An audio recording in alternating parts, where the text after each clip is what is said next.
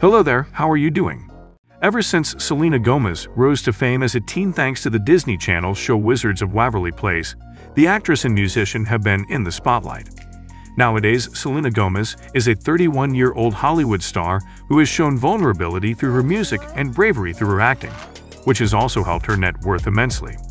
Today, however, we're taking a closer look at something fans have recently noticed about the former Disney star, the change in her voice. Over the years, Gomez has candidly talked about her health issues related to lupus. So could it be that it is the illness that caused the change in the way she sounds? Keep on watching to find out. Selena Gomez's voice has changed. Selena Gomez has been starring in the Hulu mystery comedy show Only Murders in the Building since 2021, and the show has been a huge success.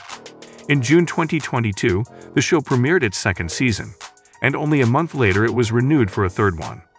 For her role, Selena Gomez received critical praise, and she has even been nominated for a Critics' Choice Television Award in the category Best Actress in a Comedy Series. While there is no doubt that her portrayal of Mabel Mora is some of the most significant work in Selena Gomez's career, fans have been quick to notice that there is something different about the former Disney Channel star. A user on Reddit pointed out that the actress' voice seems to have changed since her days on Wizards of Waverly Place. Does anyone else think Selena Gomez's voice sounds super weird in this show? The Redditor asked. I compared it back to her Wizards of Waverly Place days, and her voice sounds so different. Just me or did anyone else notice this? While many answered that the voice change is most likely connected to the fact that Selena Gomez has aged, after all, the actress was only 15 when she began playing Alex Russo on the show. That might not be the only reason she sounds different today. Selena Gomez was diagnosed with lupus between 2012 and early 2014. The former Disney Channel star was diagnosed with lupus between 2012 and early 2014.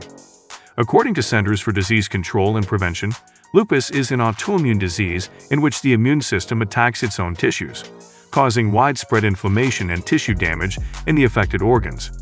It can affect the joints, skin, brain, lungs, kidneys, and blood vessels. There is no cure for lupus, but medical interventions and lifestyle changes can help control it. In September 2017, Selena Gomez revealed on her Instagram that she had to receive a kidney transplant as a result of her lupus, and a kidney was successfully transplanted to her from actress and friend Francia Raisa. Over the years, Gomez has opened up about her lupus, calling it an everyday struggle. In an interview with Elle, Gomez opened up about how lupus affects her. I experienced that with my weight fluctuation for the first time. I have lupus and deal with kidney issues and high blood pressure, so I deal with a lot of health issues. And for me, that's when I really started noticing more of the body image stuff, the actress said. No, the lupus doesn't affect my weight. It's the combination of all of it. It's the medication I have to take for the rest of my life. It depends on even the month, to be honest. So for me, I really noticed when people started attacking me for that. In reality, that's just my truth. I fluctuate. It depends what's happening in my life. Right, it's totally out of my control, and that got to me big time. I think for me, that really messed me up for a bit. While it's clear that lupus hasn't been easy to live with, the former Disney Channel star is making sure she keeps herself as healthy as possible. However, the change of her voice could be a result of the illness. According to the National Library of Medicine, Patients who have lupus have significantly lower vocal intensity and harmonics-to-noise ratio, as well as increased jitter and shimmer. Luckily, her voice is still great, and whether she's singing or acting, there is no doubt that Selena Gomez gives 100% of herself to her art. So guys, this was all about today's video. Share as much as you can. That really motivates us to create more content for you guys. With this, we end our video. Hope you liked the video.